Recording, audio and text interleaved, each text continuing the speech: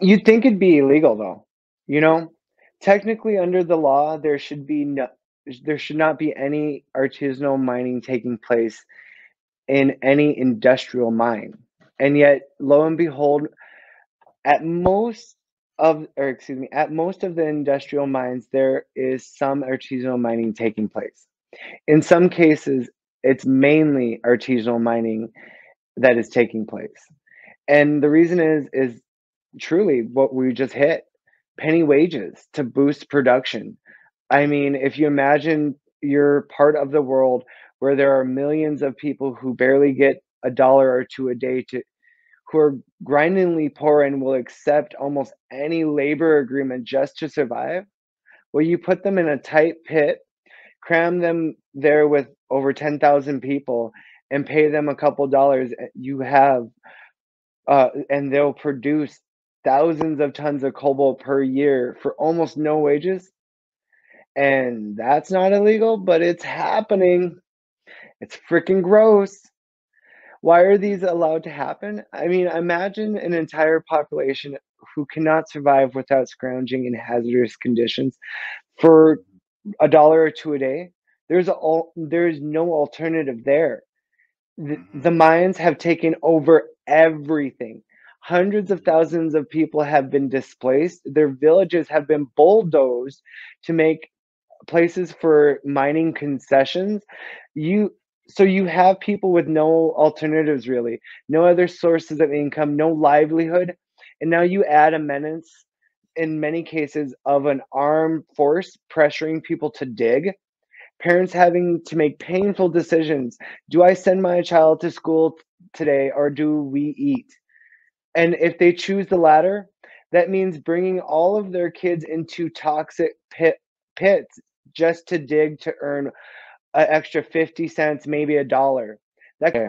This Okay. is a hard one. This is this is a Please. we're gonna we're gonna go into why we need to transfer over to hemp and smartphones, computers, electric vehicles are necessities within modern within this modern world, but their rechargeable batteries are frequently powered by cobalt mined by worker or workers laboring in slave-like conditions in the Democratic Republic of Congo. Yes. Um, let me see. Going in, going in. Can it? All right.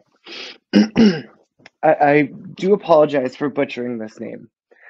Uh, Siddharth Kirera, a fellow at Harvard's T.H. Chan School of Public Health and at the Kennedy School, has been researching modern day slavery, human trafficking, child labor for two decades.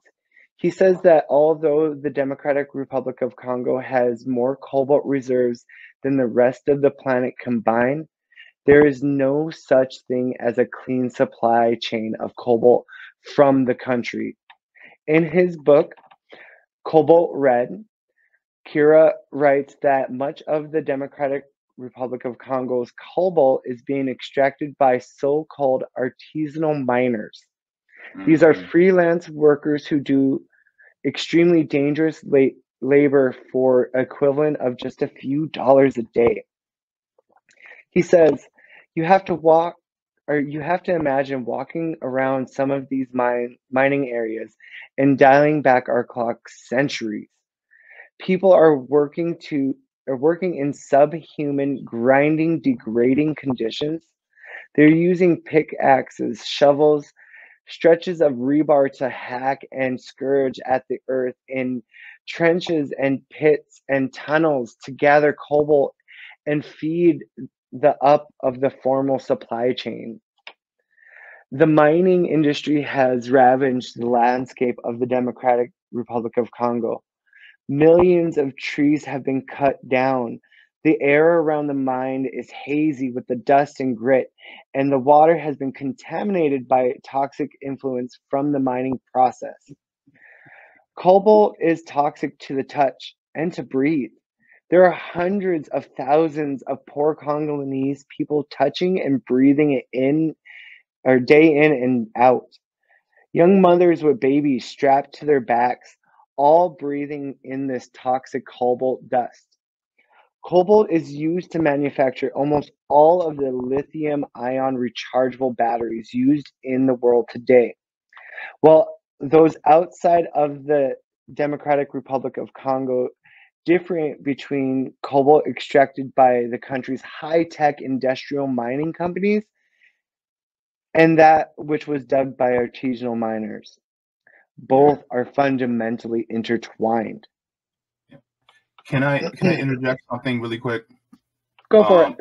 I, I'm reading this, um, and a lot of people don't realize this, and, because I know that a few months ago I didn't know this, so I know some people also probably didn't realize this. But this is according to Wikipedia. It says the Congolian forests, uh, the Congolian rainforests, are a broad belt of lowland, tropical, moist broadleaf forests which extend across the basin of the Congo River and tributaries in Central Africa says the Congolian rainforest is the world's second largest tropical rainforest after the Amazon. Hmm. So, you know how we talk about the Amazon being the lungs of the earth?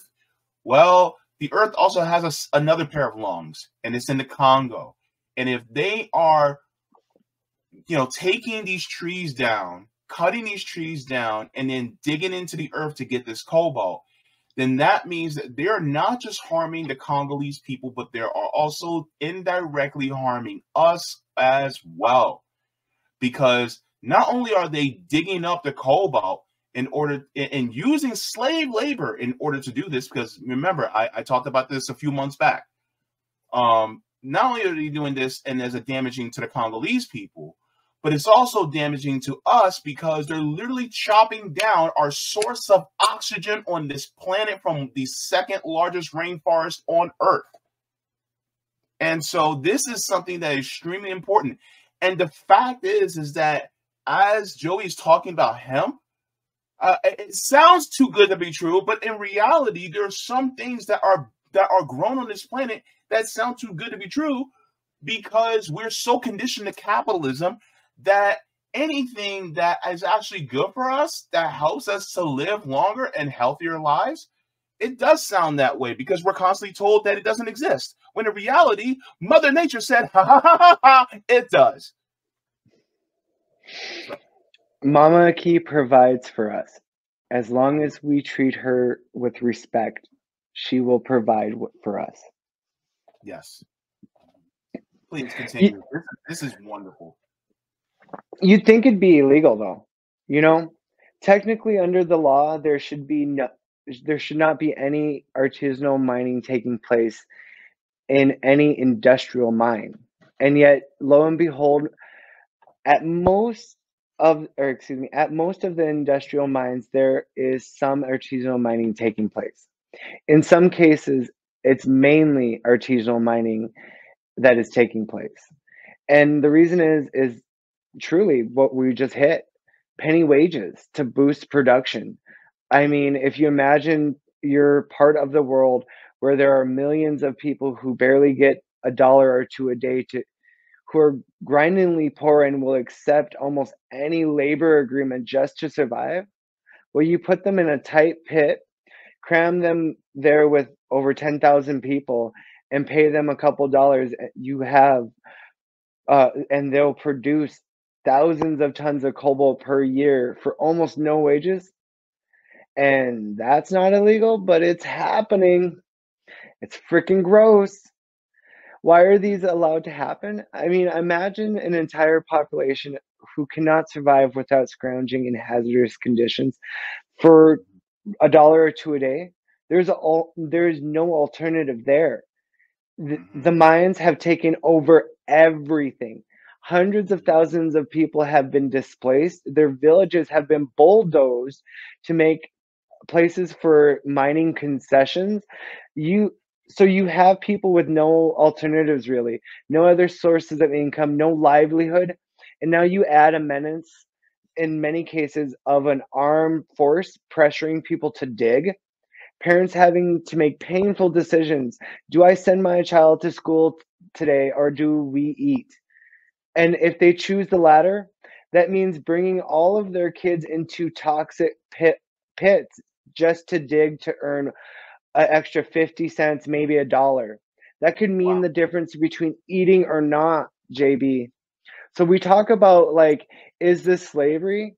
Into the 21st century, this is modern day slavery. It's not the shadow ch- slavery that was of the 18th century where you could buy, trade, people own or own titles over a person like property. But the level of degradation, the level of exploitation is on par with the old world slavery. Yeah. The dangers of those mines, JB, because it's slave way or slave uh, labor. The, the, it's dangerous. Many of the families whose children's husbands, spouses have suffered horrific injuries, oftentimes digging in these large open air pits, they will have pit walls collapse. Can you imagine a mountain of gravel and stone just avalanching down onto you and a bunch of people around you as everyone around you keeps on digging? There are probably about 1,000 or 10,000 to about 15,000 tunnels because this is where the worst of it's happening is in those tunnels and those are dug by hand by those miners none of them have supports they don't have ventilation no rock bolts anything like that. And these tunnels collapse all the time burying people alive. Anyone who's down there including children. Oh it's horrific God. to imagine jb people just don't know what's happening down there and it's it's mind-blowing. Like the children trafficking there's money to be made everywhere and you got these militias you know sometimes being called commandos if you're american funded but they will adopt children traffic children recruit and from other parts of the congo and they will bring them over there they'll have to dig for and earn their dollar or two um, because that's how these militias are funded. So these children are mostly heavily exploited. Of all the people there, they are the most vulnerable and oftentimes most trafficked and exploited in the Congo. And you'd Yeah. think the government, you'd think the government would do something, JB. The corruption is a huge part of the issue. That corruption allows so much of these abuses to persist. Excuse me. Of course. Um, so, um, there's the thing is, imagine the Congo is it's like a war war torn, deeply impoverished nation that has been subjugated to generations of colonizers and ransacking going all the way back now centuries all the way to the slave trade and also so or and also so when big foreign stakeholders come waving around their huge sums of money it's not a long stretch to see where the corruption lies. The first democratically democratically elected president of the congo in 1960 Patrice Lumumba made a pledge to the countries that the immense mineral riches and resources would be used for the benefit of the people who live there. And in short time, within six months, they had the West had him deposed, assassinated, chopped to pieces, dissolved in acid, and replaced with a bloody dictator, a corrupt dictator who would keep the mi- minerals flowing in the right direction. So if you don't play ball with the power brokers at the top of the chain and with the global north, just like Lumumba showed what that outcome was, that will happen to whoever takes over currently. And I think that is also part of the lesson that we need to understand historically when we're talking about things like corruption. Truly, it is uh, the West in placing this colonized culture onto our communities, in particularly indigenous communities like the Congolese and the folks over here in the Turtle Island. Now, I want to touch a little bit about China going forward because this is ties right into that corruption. China cornered the global market on cobalt before anyone knew what was happening. This was back in uh, 2009 under the previous president of the Congo, Joseph Kabila. Uh, pardon pardon me if I got that name wrong. He signed a deal with the Chinese government for accessing to the mining concessions in exchange for developing assistance, a commitment from Ch- China to build roads and some health public clinics, schools, hospitals, things like that. But that opened the door for them. And before any anyone knew it, the Chinese owned and took seized an ownership of 15 out of the 19 um, co- copper cobalt mining concessions within the Congo. So they have dominated the excavate uh, of, of the mining industry. And it's not just that, they've dominated the chain all the way through to the battery level. They have about 70 to 80% of the refined cobalt market and probably about half of the battery market.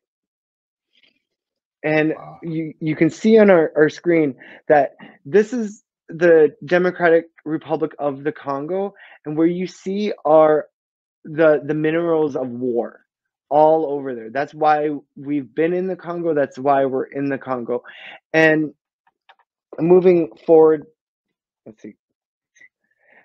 This is a breakdown of the minerals um, for uh, electric vehicles. I, am sorry, it's in French. Um, this is uh, the best I could grab for that one. Um, this is straight cobalt, and if, as you can see, this is actually on the, the southern point of Congo. This is where the most of the the minerals that are being extracted for the uh, the battery production. Um, you can check into these maps at the Game of Mind. I want to say it was on uh, uh, the Guardian. here's an overall map of the nickel deposits within um, the globe, Mama Key. And I, I, I'm pulling this up to point out that it's not just happening within the Congo. Rio Tinto, which is a mining company, um, along with a handful of other different companies at the top, are going in mostly indigenous lands and extracting these minerals from across the globe. I I want to point out here in Minnesota we have a Rio Tinto um, mine that's currently in um, post or pre stages before it goes into the mining operation, and most of that minerals was approved by Joe Biden as he wiped away regulations protecting us from being um, exploited by these extraction companies. The the regulations that I'm talking about are the NEPTA, uh, the National Environmental Protection Act, and as Joe Biden raised the the level of need on these minerals, he wiped away those regulations within NEPTA that allowed a democratic process for the communities to give input before these extraction companies come into our communities. Wow. This Rio Tinto mine, I mean, it's a lot like what we had discussions with any other extraction or chemical um, off uh, hazardous company coming into our communities, and we set up meetings with the um, the local municipality who hosts these these uh, decision making um, meetings.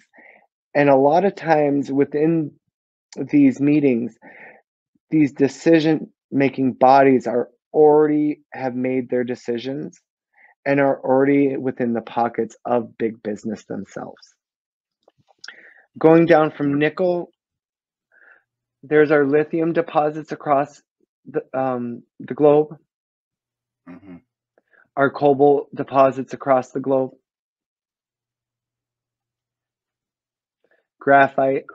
And graphite is uh, when I talked about the hemp diamonds, that's what we're talking about graphite. We can replace all these mines with hemp. All of the mines that you've seen on the on the maps, you can replace with hemp. which is amazing. Thank you so very much for watching my channel, and I deeply appreciate it from the top and bottom of my heart. If you wish to support the channel further, so I can keep bringing you content that is educational and informative, you can become a patron on patreon.com forward slash jaybefaunt. You can find that link in the pinned comment or in the description below. No matter what you give, you'll be supporting independent media and education that helps make the world better. Thank you so much, and you can watch more of my content here. Mwah. Forehead kisses, and have a beautiful day.